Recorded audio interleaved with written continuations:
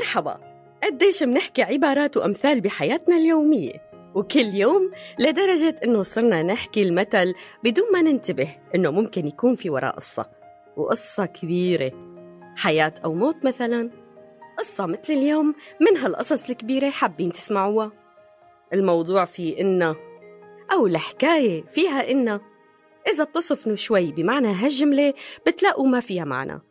وأكيد في قصة كاملة انأخذت منها هالمقولة لتصير مثل على لساننا. منعبر فيه عن حالة شاكين فيها بإنه في وراها سر مخفي وهالسر يمكن يكون فيه شر لإلنا.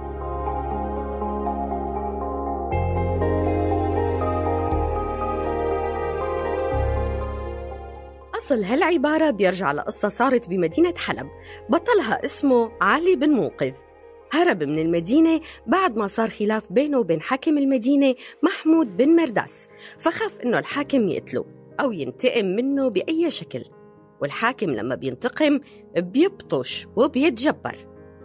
ولما عرف الحاكم بهرب علي أمر كاتبه إنه يكتب له رسالة يطمنوا فيها ويستدرجه ليرجع لحلب. بس الكاتب حس إنه الحاكم ناوي الشر لعلي بن منقذ وكان علي بعز على هالكاتب. فاحتار الكاتب وفكر كيف ممكن ينبهه ويخليه يحس بالشر يلي مخبي له يا الحاكم. وإجته الفكرة. كتب الكاتب الرسالة وكانت رسالة عادية كتير عم يحكي فيها إنه الحاكم رضيان ومو غضبان عليه والأمور مستقرة. وبآخر الرسالة كتب إن شاء الله تعالى بتشديد النون. وقت قرأ ابن منقذ الرسالة انتبه للنون المشددة وعرف أنه تشديد النون ما له خطأ لغوي من الكاتب المعروف بالسلامة اللغوية.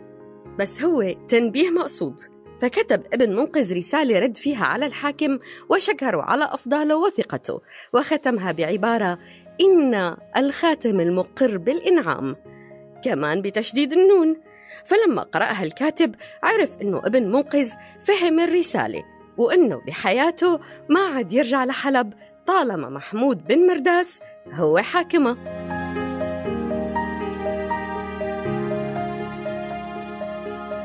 وهيك نبهت الرسالة يلي فيها إن ابن منقذ على الشر يلي مستنيه وحذرته من الرجعة ومن هون صار استعمال فيها إن دلالة على الشك بسوء النية عجبتكم القصة؟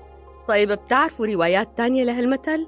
إذا بتعرفوا احكوا لنا وشاركونا إياها. سلام.